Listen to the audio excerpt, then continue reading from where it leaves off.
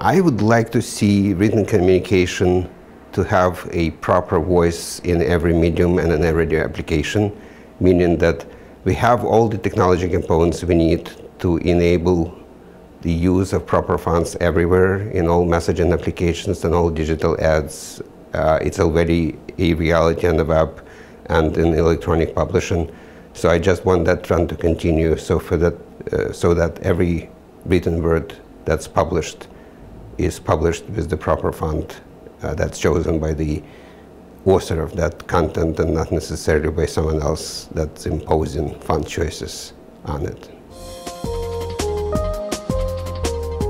Well, I guess the most annoying part was the lack of font technology on the web because we did not have the environment that would be universally uh, usable. We didn't have data formats that were universally supported. And as a result, people resorted to using multiple different hacks, such as, for example, substituting fonts as images. You know, today the situation is very different, and starting with 2010, when we had wide deployment of the WOFF1 format that is very popular today, and hopefully with the wide deployment in WOFF2 that will follow soon, we will have the best of both worlds. We will have universally supported technology and the, the one that also is very efficient and provides the most features for the user, for the web developer.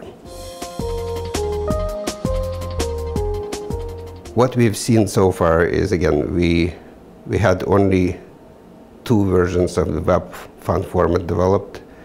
That first version enabled widespread use of the technology. The second version optimized that to make it most efficient. Uh, I, I don't see that trend stopping anytime soon because there, there is still a lot of room for, for improvement both in terms of efficiency and, uh, and that means compression and performance and also usability. And at, that, at some point, uh, I think that will be the key to everything we just talked about to enable that technology use in a wide variety of different applications, not necessarily just for the web pages and digital ads, but everywhere, including messaging applications, including all type of digital communications between people and between the apps itself.